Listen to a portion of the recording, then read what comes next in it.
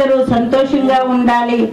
అన్ని సంక్షేమ కార్యక్రమాలు పేదలకు అందాలి అని అన్ని కార్యక్రమాలు రెండు వందల నుంచి వెయ్యి రూపాయలు పెన్షన్ చేయటం కానీ లేదా ఆయన ఇవ్వని మాటగా చంద్రన్న బీమా పథకాన్ని పెట్టడం కానీ ఇలా అన్ని కార్యక్రమాల్ని ముందుకు తీసుకువెళ్ళటం జరుగుతుంది.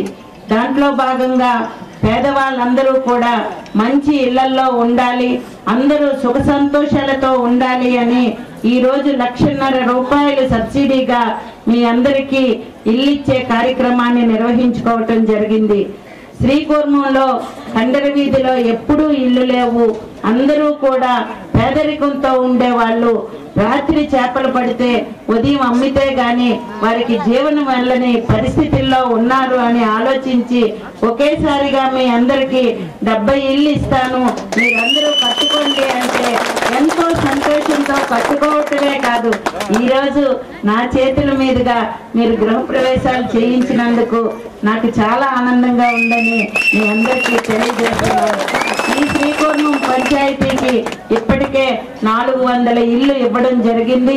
అన్ని గ్రామాలకు సంబంధించి నాలుగు వందల ఇల్లు ఇచ్చాం.